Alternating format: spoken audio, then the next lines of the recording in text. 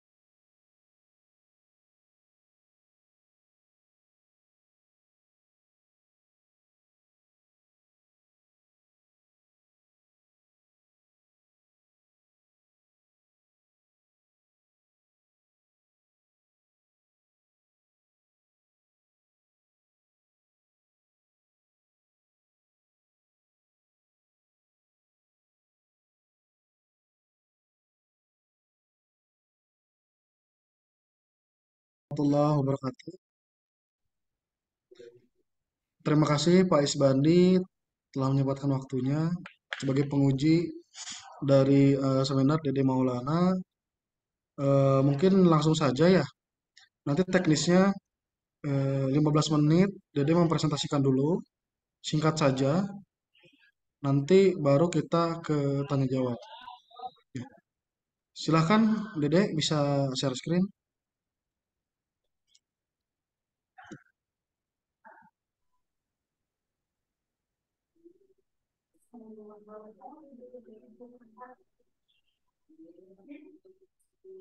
Dede belum ada suaranya. Belum ada Dede masih di mute.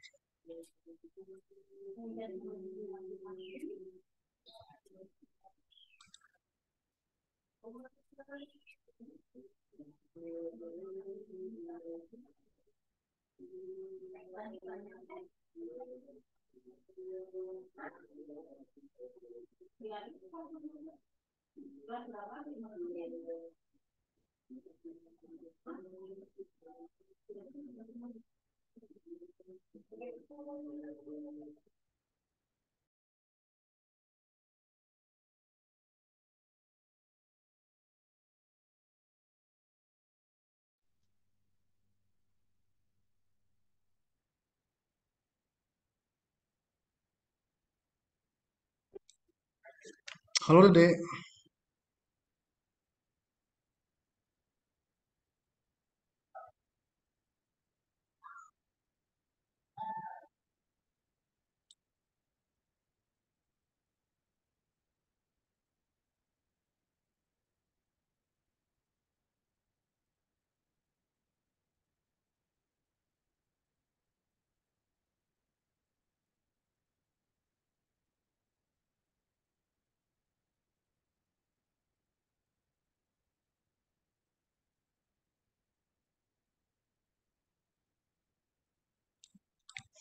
Kalau ada trouble coba pakai HP atau gimana gitu. Kalau share screen-nya bisa nggak?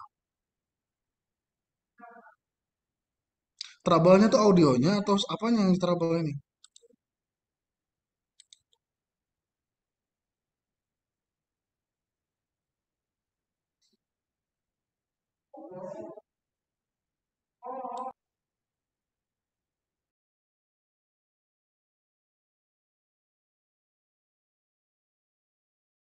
Coba dilepas handsetnya. Nggak pakai handset.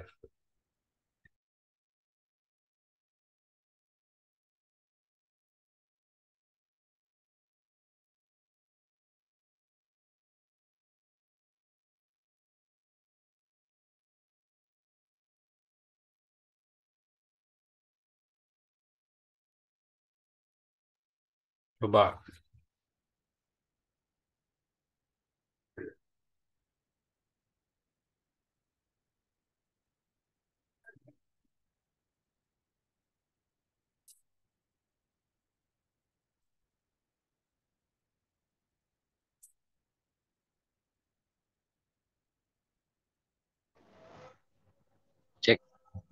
Sudah Ya. masuk?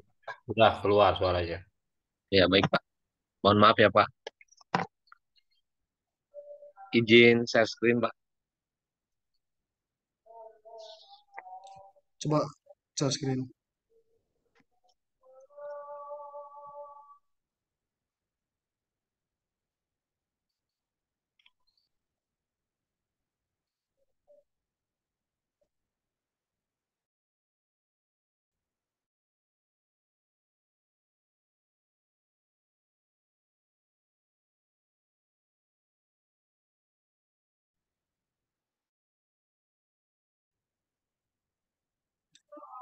Ya, silakan.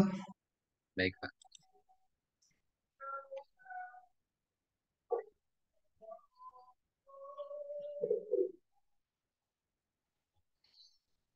Bismillahirrahmanirrahim. Assalamualaikum warahmatullahi wabarakatuh. Selamat siang, salam sejahtera untuk kita semua. Puji syukur saya panjatkan kepada Allah Subhanahu wa taala dan terima kasih telah memberikan saya kesempatan untuk melakukan presentasi kerja praktek saya hari ini. Yang saya hormati Bapak M. Iqbal Wiawan Eskom IPP selaku dosen pembimbing yang selalu menuntun saya dalam pembuatan laporan KP sehingga hari ini saya dapat mengikuti seminar KP. Yang saya hormati Bapak Isbandi ST MM MT selaku penguji dalam seminar KP saya hari ini. Perkenalkan nama saya Dede Mawanesu, teknik dari Prodi Teknik Informatika Universitas Islam Nusantara. Dari hasil penelitian kerja praktek saya di Badan Riset dan Instrumentasi Nasional yang berjudul Segmentasi Citra Bakteri pada E. coli air kotor. Bakteri E. coli pada air kotor menggunakan metode threshold output.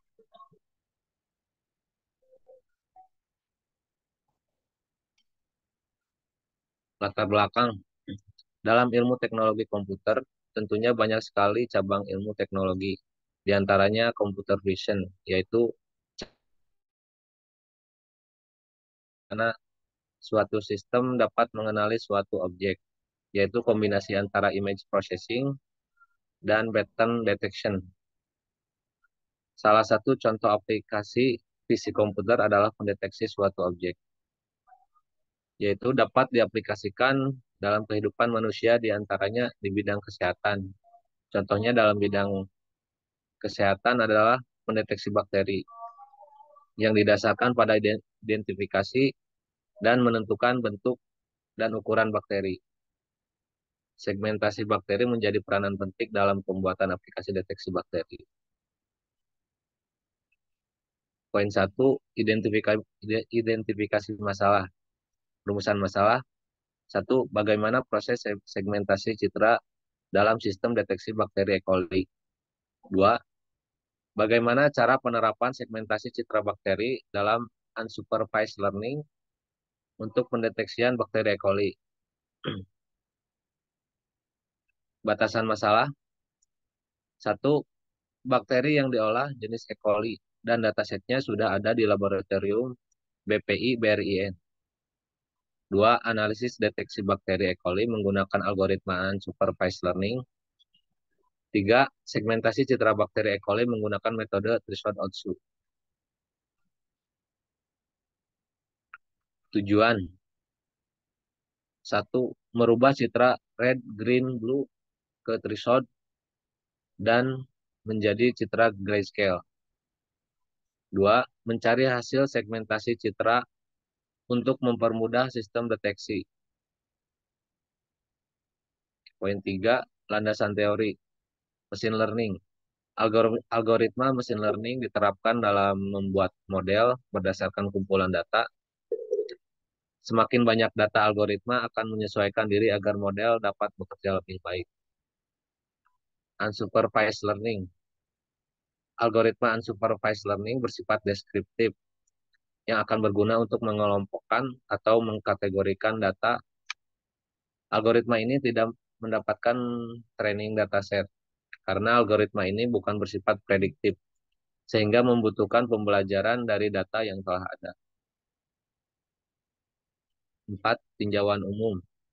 Badan Riset dan Inovasi, dan Inovasi Nasional adalah lembaga pemerintahan non-kementerian yang berada di bawah dan bertanggung jawab kepada Presiden Indonesia melalui Dede, menteri yang eh, membidangi Dede, urusan Dede, Dede. pemerintahan. Ini di Ya, skip Pak. aja ya. Baik, Pak. Di skip aja yang ini. Oh, baik. Selanjutnya, poin 5 hasil. Di sini yaitu flowchart pro- program. Yang pertama eh, mulai dilanjutkan ke input gambar, dilanjutkan ke thresholding, dilanjutkan lagi ke selanjutnya ke thresholding output, yang selanjutnya ke RGB dan dikonversi ke RGB, dan yang terakhir eh, nilai pixel. Selanjutnya selesai.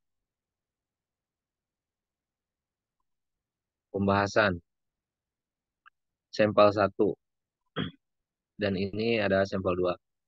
Gambar tersebut telah disediakan oleh pihak BRIN yaitu sampel bakteri di dalam air kotor dengan durasi waktu inkubasi selama 48 jam sebelum dipindahkan ke kertas 3MP3 film dan diambil menggunakan mikroskop.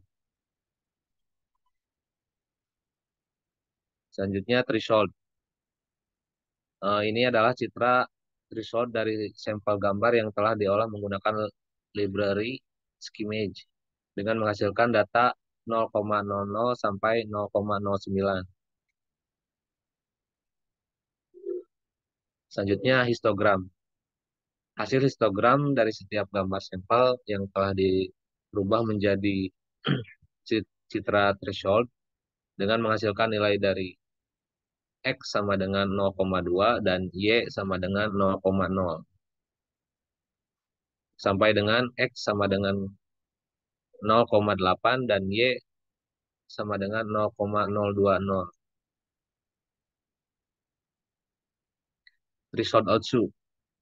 Hasil citra threshold output dengan menentukan nilai RGB dengan menampilkan hasil threshold output dengan nilai R sama dengan 0, G sama dengan 1, dan B sama dengan 1.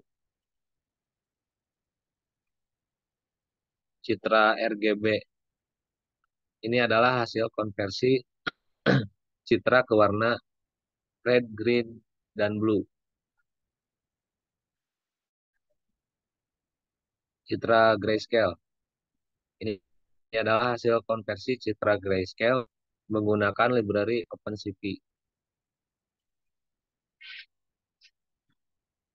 Nilai metrik. Hasil nilai metrik setiap citra gambar dengan menghasilkan nilai array untuk dilakukan ke proses selanjutnya.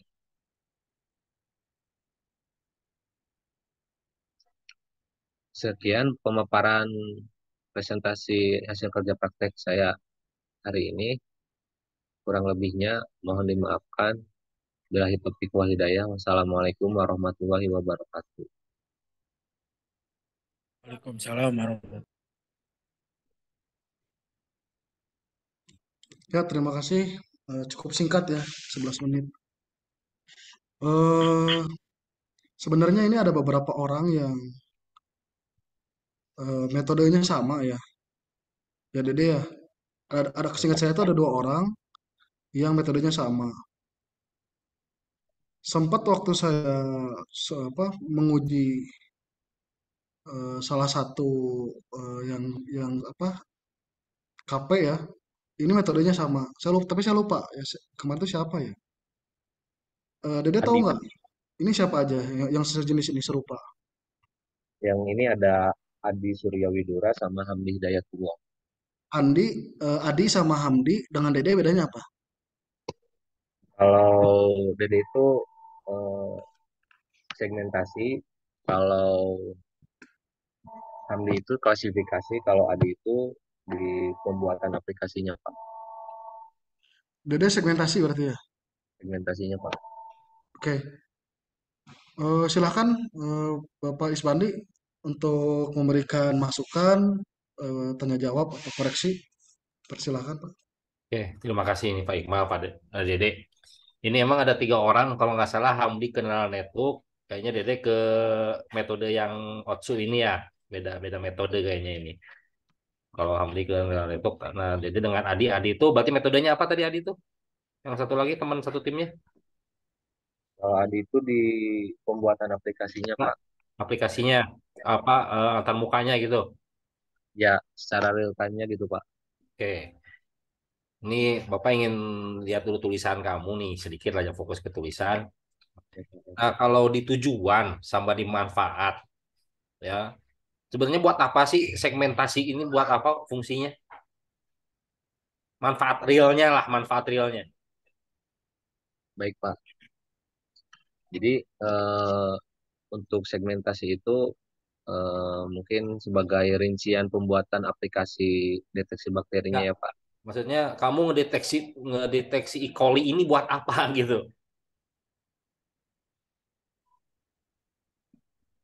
Eh, untuk ini ini kan dari air kotor ya Pak. Jadi Hmm, eh, sebenarnya ini tuh proyek dari BRIN untuk mencari E. coli, bakteri E. coli di air kotor gitu Pak. Tapi kan ya untuk apa gitu? itu Untuk apa di air kotor ya. Ya untuk apa gitu? Kalau E. coli-nya diketahui atau tidak diketahui itu apa? Manfaat ujung akhirnya untuk apa maksudnya Bapak itu? Jadi yang saya tahu Pak ya eh, E. coli kan nggak terlihat sama eh, mata telanjang gitu ya Pak. Jadi Mhm. harus harus ada segmentasi. Jadi biar kelihatan di air kotor tuh ada nggak sih eh, bakterinya gitu Pak. Supaya tuh kita kalau. Kalau E. coli itu kalau diketahui ini, kalau nilai E. coli E. coli itu diketahui itu untuk apa? Mungkin saya kurang tahu untuk itu Pak. Nah, itu maksudnya tanyain, kamu neliti harus jelas dulu untuk apa ini E. coli ini, gitu. Misalkan kalau E. Hmm. coli-nya kebanyakan bikin sakit perut, atau E. coli-nya sedikit itu nggak sakit perut, nah gitu. Jadi kamu jelas untuk apa sih kamu ngerjain ini nih, gitu tuh. Kalau kamu bisa segmenkan, misalkan E. coli-nya diketahui, oh berarti saya bisa mencegah eh, atau membuat penanganan air bersih jadi kotor. Atau misalkan kalau E. coli saya diketahui, misalkan saya bisa melakukan treatment air untuk apa. Itu ada manfaat akhirnya kan. Manfaat manfaat akhir ini buat apa sih kamu buat ini tuh? Emang betul ini di- diminta BRIN kan, diminta BRIN. Tapi tolong tanya, coba tanya ini untuk apa sih saya tahu ini buat apa gitu. tahu ini buat apa, manfaat saya tahu E. coli itu buat apa gitu. Nah, Baik itu penting kenapa? Karena kamu tahu tujuan akhir pendeteksian ini buat apa gitu. Jadi soat gitu loh kalau Bapak tahu E. coli sama nggak tahu E. coli gitu. Baik. Ya, nah itu jelaskan dalam tujuan, dalam manfaat di bab satu. Ya, jadi kamu tahu ini sebenarnya manfaat kerjaan kamu ini buat apa gitu. Baik Pak. Ya, ya. Jadi jadi soal loh kalau, kalau kamu tahu jumlah E. coli 10, tahu E. coli 200, tahu jumlah E. coli 1000 itu buat apa gitu. Ya, itu sampaikan di tujuan sama di manfaat. Jadi ini kalau saya tahu E. coli akan bermanfaat untuk apa? Secara real, secara real ya. Bukan untuk mengetahui jumlah, untuk mengetahui itu untuk apa, tahu jumlah itu untuk apa. Terus bisa membedakan itu untuk apa. Baik Pak. Ya, jadi manfaat real dalam kehidupan lah kasarnya lah. Manfaat real dalam kehidupan eh, implementasi penelitian apa di BRIN untuk apa ya. Jangan kamu mirip disuruh nyetir, jangan asal nyetir aja nggak tahu buat ke mana, mau ke Garut ke Garut ke mana nggak tahu kan jangan sampai seperti itu. Ke Garut ke Tasik tahu asal nyetir aja dulu maju lah, jangan seperti itu ya. Harus jelas Pak. dulu ini untuk apa ujungnya mau ke mana ini akhir ujung akhirnya. Ya, itu disampaikan di bab satu. Ya, di tujuan sama di manfaat. Jelas. Jelas, Pak. Nah, itu soal bang lihat cuma ngomongin jumlah apa eh, biar karena yang namanya penelitian apa pun itu yang dikerjakan harus jelas ini untuk apa. Baik, Pak. Terus nanti di latar belakang juga sampaikan saya meneliti ini di BRIN untuk apa? Kenapa? Secara real di kehidupan ya. Pasti ada ya di nanti ke latar belakang ikut ngaruh itu untuk apa? Pak saya tahu E. coli, saya tidak tahu E. coli itu apa gitu. Ya, emang ada trouble apa dengan E. coli kan gitu. Jelas? Jelas, Pak. Terus yang kedua, tadi kan kamu di ada training, pasti ada training gambar kan?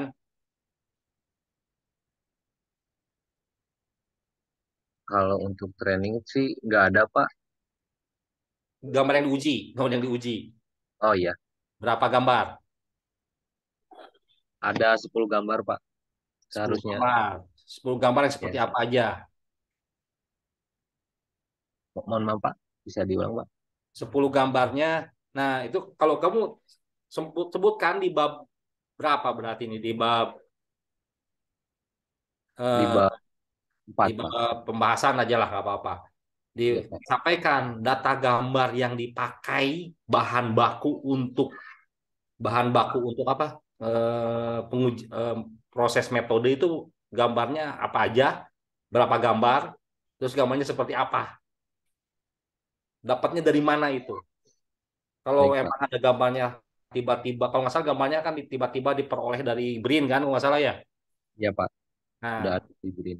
nah itu dari BRIN tanya, ini dapatnya dari mana gambarnya? Di foto, di foto kah? Foto apakah?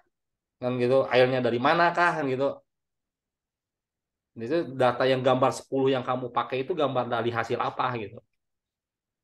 Terus resolusi awalnya berapa? Jadi ngomongin data awal. Ya, jadi tambahkan satu bab, eh, satu subbab tentang data awal yang dipakai untuk eh, bahan pengujian kamu. Kalau 10 gambar, 10 gambar seperti apa? Dari mana dapatnya? Berapa resolusi awalnya? Ya. Jelas. Jadi satu bab itu khusus tentang bahan data data yang awal yang dipakai. Baik, Pak. Siapa tahu datanya ada yang jelek kan? Apakah kalau ada misalkan gambarnya apakah 10 langsung dipakai semua? Ataukah 10 itu ternyata dipakai cuma 7 kan kita nggak tahu ya. Iya, Pak. Ternyata kalau gasnya 10 apakah 10-nya itu langsung bagus semua bisa dipakai semua? Itu dijelaskan semua di data preparasi atau apa data awal lah sebutkan di bab itu, suatu sebab itu. Baik, Pak. Ya.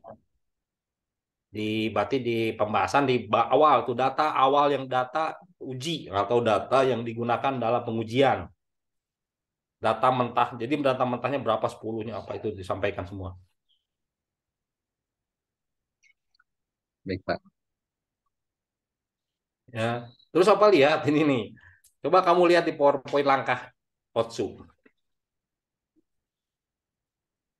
Di langkah Otsu.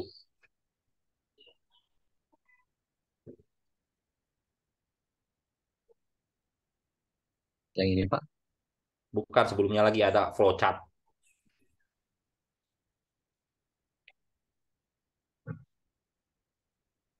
Nah, di sini kan nyampe kamu ke RGB kan, langsung nilai pixel ya. Iya, Pak. Terus kamu ngapain ngonversi ke grayscale? Ke grayscale itu biar nanti bisa jadi eh, bilangan biner, Pak. Kan eh, citra itu kalau di bahasa mesinnya harus nol, nol itu kan hitam, warna hitam. Kalau satu itu warna putih gitu, Pak. Jadi untuk tahap selanjutnya itu mempermudah eh, pembuatannya gitu, Pak. Jadi ini extendnya, ex- eh, pengembangannya Otsu. Otsu kan cuma nyampe sini ya, kalau kata tulisan kamu. Iya, Pak. Berarti ada tambahannya lagi. Eh, mungkin untuk ke klasifikasi itu butuh data tersebut, Pak. Enggak maksud apa tuh kan tadi kamu kan berubah ke grayscale, sedangkan di OSU cuma nilai pixel dari konversi ya RGB kan. Iya Pak. Nah, berarti ada angka tambahan ya. Iya Pak. Nah, tambah kalau mau ada langkah tambahan, tuliskan di sini di metode, terus di pas di grayscale itu jelaskan yang kamu omongin tadi. Oh baik Pak. Soalnya Babang lihat di sini nggak, kalau nggak salah OSU cuma nyampe RGB, tapi kamu rubah sampai ke grayscale. Karena nilai scale-nya beda kan. Di sini ada eh, meskipun emang apa karakteristiknya beda, karakteristiknya beda RGB sama grayscale. Oh iya Pak. Baik Pak. Ya, jadi tambahkan penjelasan loncatnya itu kalau mau loncat dari metode ini loncat. Ya, Baik Pak. Tambahkan tulisan itu kenapa kamu grayscale, terus kenapa itu dibutuhkan tambahannya. Jelas. Jelas Pak.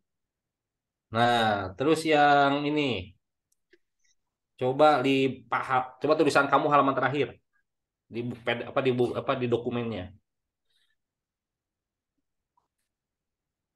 Di di Word-nya, di PDF-nya, di Word-nya bukan di PowerPoint-nya.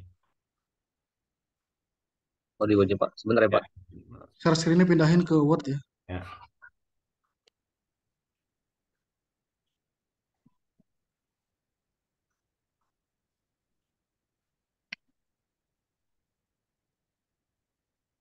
Sambil dicatat yang yang tambahan-tambahan tadi ya. Iya Pak. Sudah Pak. Hmm. Sambil direkam juga Pak. Coba paragraf terakhir di pembahasan.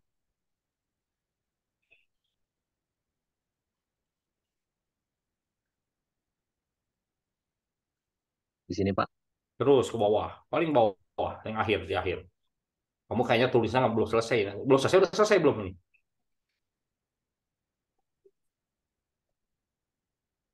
Tulisannya udah selesai belum selesai?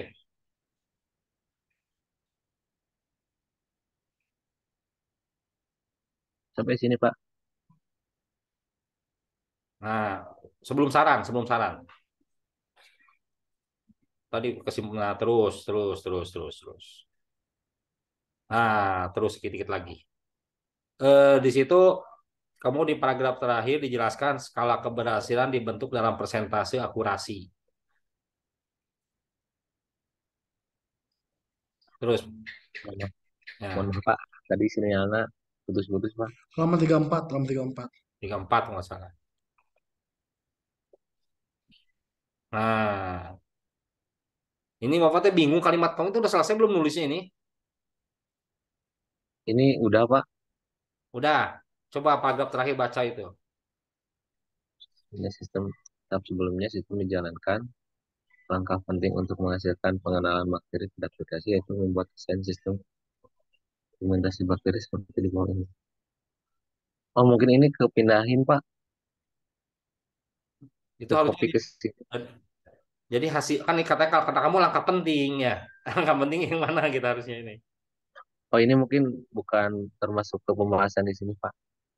Nah, terus hasilnya gimana hasilnya?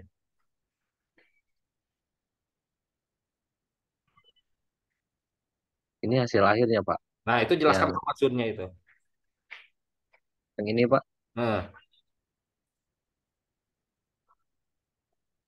Kalau yang ini mungkin dari hasil penelitian saya, eh, mohon maaf saya belum bisa mengartikan dari setiap nilai array tersebut. Namun ketika saya eh, mencari skrip skripnya itu yang muncul nilai metriknya itu seperti ini Pak. oke. Dan dari BRI-nya BRI-nya suruh mencari nilai array tersebut Pak. Namun saya eh, belum memahami dari hasil ini itu seperti apa nih penjelasannya Pak. Mohon maaf. Oke, coba sambil eh, apa ya? Kan Bapak tuh bingung nggak konsisten. Yang pertama kan gambar satu, gambar satu, penjelasan coba balik ke atas lagi. Ke atas dulu. Nah, ini kan ada yang ini contohnya yang tadi aja nggak apa-apa contohnya. Nih, histogram gambar satu, histogram gambar dua, histogram gambar tiga ya. Ya Pak. Gambar satunya mana sih? Gambar duanya mana? Ini gambar satu. Enggak, bukan itu tulisannya hasil histogram gambar satu, histogram gambar dua, histogram gambar tiga ya, Ya Pak, gambar empat, gambar satu, gambar dua, gambar tiga, gambar empat tuh mana sih? baik Pak. Yang ini Pak, ini gambar satu, gambar duanya, gambar dua, gambar tiga Pak. tulisin taman sampel, sampel gambar satu. Di bawah Di, dikonsisten,kan. Itu kan kamu berarti citra citra itu sebenarnya ya? Saya capture ya? Ya Pak, hasil capture dari mikroskop Pak. oke tulis. Jadi konsisten kan tulisannya? Oh jadi baik Pak. histogram cit eh, apa tadi itu sampel gambar satu histogram sampel gambar dua Baik Pak. ya nah menurut kamu nih threshold mana yang paling optimal Yang paling optimal Pak. hmm. kan kamu nih nguji beberapa threshold ya Ya Pak. threshold mana yang paling optimal Mungkin yang paling semuanya bagus mungkin semuanya optimal Pak. Hah? Semuanya optimal karena saya nggak melakukan penelitian penelitian itu Pak. Enggak, enggak hasil algoritma kamu, hasil algoritma. Kan kamu nguji, nguji beberapa apa? Nguji beberapa threshold ya. Ya Pak. Hasil pengujian beberapa thresholdnya mana?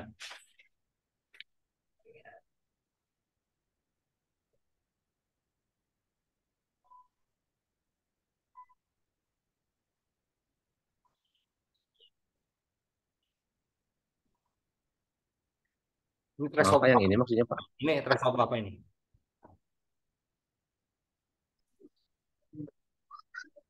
Coba mengulang lagi algoritmanya mana yang kamu kerjain tadi teh? Algoritmanya Pak. Nah, kamu kasih thresholdnya berapa ini? Ngasih al- Mohon maaf Pak kurang jelas Pak. Coba algoritmanya ya, algoritmanya. Kalkulasi thresholdnya.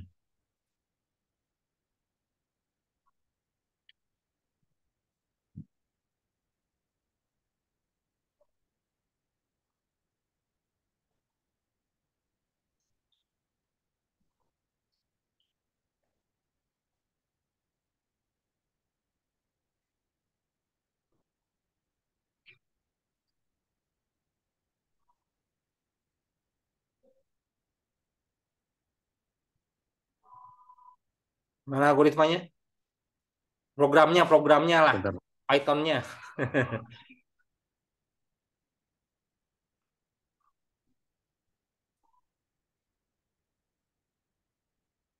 Ini siapa yang ngerjain Pythonnya? Yang ngerjain Pythonnya? ini Pak. Saya Pak. Hmm.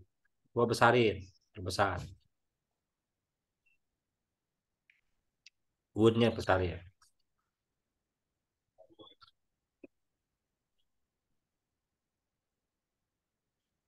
Nah, setelah menjalankan perintah tersebut,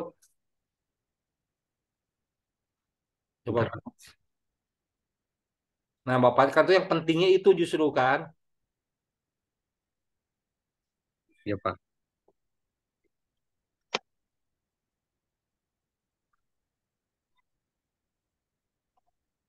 Coba jelaskan ini. Bisa nggak? Eh, kalau ini tuh jadi untuk eh, antar muka dari setiap gambarnya Pak eh, nilai rednya itu dikasih nilai 0 dan greennya itu dikasih nilai satu dan Hmm. B-nya itu dikasih nilai 2 Hmm. Dan ini akan dihitung oleh matplotlib dengan dikalikan satu dua dan besar dari setiap pixelnya itu 12,6 Pak. Hmm. Terus? Nah, dan nanti itu akan dikonversi ke result output dengan warna gray. dan eh, untuk penghitungan Otsu ini eh, gray-nya itu kurang dari threshold A Oh, X eh, nilai 0 eh, dan eh, A, AX nilai 1 Pak. Oke, kalau Chico Gray-nya berapa? Dari Kalau mana Chico, dapatnya? kalau Chico Gray-nya tuh Coba mundur. Ada nggak Chico Gray? Kamu dapat eh, Chico Gray-nya ada berapa? Itu kan angka nilai. Kumpulan nilai, matrik. ya Pak, baik Pak.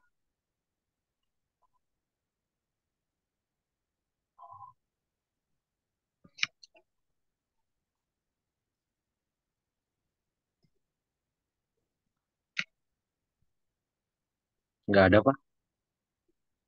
Hmm? Nggak ada atau nggak nggak ke screenshot.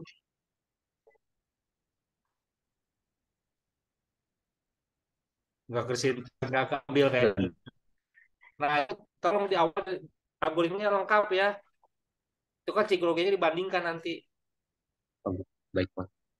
Itu yang pentingnya itu kan itu psikologi kan nilai scale dibandingkan dengan threshold. Nah, nanti diketahuan mana Chico Gray nilai Chico Gray yang akan menentukan nilai Otsu-nya gitu loh. Nah, makanya Bapak tadi eh, ini ada kayaknya algoritma yang kepotong ini gitu. Ya, ya selengkap mungkin ya. Terus jelaskan maksudnya itu di bawahnya itu. Jadi setiap ada algoritma apa ada program, tolong uraikan, jelaskan tulisan di bawahnya kamu itu ngoding apa sih sebenarnya itu, ngejelasin apa sih, ngerjain apa. Baik Pak. Ya, jadi setiap ada kamu nulis ada screenshot coding, bawahnya tolong jelaskan apa maksud kamu ngetik itu di coding itu gitu. Apa maksud coding itu? Ya, jangan jadi nggak nggak bukan barang goib tiba-tiba muncul. Ya Pak. Ya, kalau copy paste nggak ujuk-ujuk copy paste coding selesai. Ya, Ya Pak. nah, nah terus akibatnya nanti ke, di kesimpulan. Coba kesimpulan. Nanti kesimpulan tolong jelasin. Maksudnya ini eh, threshold berapa sih yang yang nggak kayak gini kesimpulannya? Jelaskan. Jadi eh, ke 10 gambar menghasilkan apa? Lalu hasil training dengan threshold hasil matriknya yang optimal berapa, yang mana gitu. Ya, nggak umum kayak gini. Mendapatkan hasil grafik dari segmentasi yang mana sih? Apa maksudnya yang mana? Yang nggak ngambang di kesimpulan tuh ya. Baik Pak. Kalau perlu kalau perlu ngomong angka, angkanya omongin. Ya. Karena sistem grafik hasil grafik dari segmentasi menunjukkan nilai threshold berapa yang dijalankan pada citra Otsu ber- seraka apa eh, Otsu, Otsu berapa yang optimal thresholdnya kan gitu. Jadi nggak nggak ngambang kayak gini kesimpulannya ya. Ya baik Pak. Terakhir tulisan paragraf konsisten kan, jangan paragrafnya ada yang kecil ada yang gede. Ya, Baik Pak. tulisan di paragraf dikonsistenkan. Mungkin gitu aja Pak Iqmal. Baik, terima kasih eh, Pak Isbandi. Lumayan banyak yang harus diperbaiki ya. Nah, saya sebenarnya sudah mencatat ada beberapa. Eh, saya rangkum ya.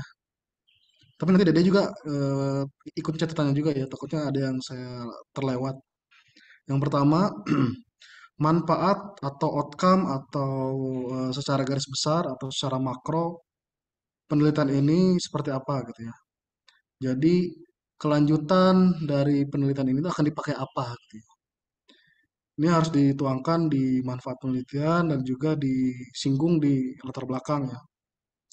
Kemudian ada satu subbab atau satu komponen lagi yang perlu ditambahkan di tata tulis, yaitu atribut sumber data. Sumber data yang berupa gambar terutama. Jadi atributnya itu gambarnya dari mana, ukuran resolusinya seperti apa, berapa banyak yang diambil dari kan mungkin mungkin untuk jadi 10 itu kan kita memilih ya dari gambar yang berapa gitu ya. Misalnya 20 gambar jadi 10 segala macam dijelaskan di apa subbab khusus ya. Kemudian tadi eh, di algoritma eh, flowchartnya itu tidak terlihat eh, konversi ke grayscale-nya. Jadi itu posisinya ada di mana? Apakah betul di akhir setelah eh, hasil akhirnya atau di tengah-tengah atau di mana itu di, digabungkan atau diperbaiki ya gambar algoritmanya, flowchartnya. Kemudian captionnya tolong dibuat standar, terutama caption dari penamaan gambar. Jadi namanya nanti mungkin sampel gambar satu atau hasil threshold sampel gambar satu misalnya. Distandarkan namanya. Kemudian algoritma dari eh, apa namanya aplikasinya ya si Pythonnya ini tidak terlihat. Jadi kalau Pak Isbandi tadi menyampaikan harus dituangkan source code-nya, kemudian dijelaskan maksud dari source tersebut. Kalau saya ditambahkan juga dengan algoritma code-nya. Jadi algoritma dasarnya tolong dituangkan secara tulisan ya. Jadi sebelum masuk ke dalam codingan, algoritma dasarnya dulu dituangkan di dalam satu atau dua bagian gitu ya. Baik gambar maupun tulisan silahkan. Yang terakhir adalah tata tulisnya mohon untuk dirapikan lagi. Kalau ini memang terlihat seperti belum selesai, betul kata Mas Bandi tadi. Jadi eh, penyempurnaannya tolong di tata tulis, di eh, judul, ukuran huruf, kemudian tabulasi, eh, alignment semuanya dikonsistenkan, ya. Dilihat lagi kata per katanya, dirapihkan. Nah, mungkin sisanya di luar yang saya catat, mungkin Dede juga mencatat. Mungkin kita beri beri waktu juga Pak Isbandi kira-kira berapa lama waktu perbaikannya Pak Isbandi? Ya, Dede kira-kira berapa lama kita? Maksimal dua minggu nih idealnya nih, maksimal satu minggu malah idealnya. Minimal satu hari, maksimal dua Nah, minggu. Berapa? ya, Berapa hari Dede? Dede sanggupnya. Saya sanggupnya eh, dua minggu, Pak. Nah, pasti ngambil yang akhir ya. Maksimal. Siap. Eh, dua minggu berarti tanggal eh, sebagai catatan tanggal 17 ya. 17 sebelum sebelum 17 Desember berarti ya sudah dikirimkan ke saya dulu. Nanti saya koreksi baru kirimkan ke Pak Isbandi. Jadi sebelum tanggal 17 saya harus lihat dulu mungkin tanggal 16 tanggal 15-nya ya. Baik, Pak. Gitu. Ada lagi yang mau didiskusikan Pak Isbandi? Cukup, Pak, cukup, Pak. Oke. Jadi ada yang mau ditanyakan dulu? Atau ada yang ditanggapi? Mungkin eh, saya ucapkan terima kasih atas arahan Bapak sekalian dan bimbingannya. Dan mohon maaf atas kekurangan-kekurangan saya, Pak. Oke. Baik, eh, terima kasih. Mudah-mudahan waktu yang diluangkan kita bersama ini mendapat ke- keberkahan ya dan juga pahala selain memang tugas kita ya. Mudah-mudahan dua minggu ini tercapai perbaikannya dan menjadi eh, manfaat yang tidak hanya bagi eh, apa BRIN ya, tapi juga bahan penelitian-penelitian selanjutnya di Uninus. Terima kasih Pak Isbandi, kemudian eh, Dede. Wabillahi taufiq hidayah. Assalamualaikum warahmatullahi wabarakatuh. Waalaikumsalam warahmatullahi wabarakatuh. Ya, Terima kasih, Pak, semuanya. ya. izin live ya. Izin live.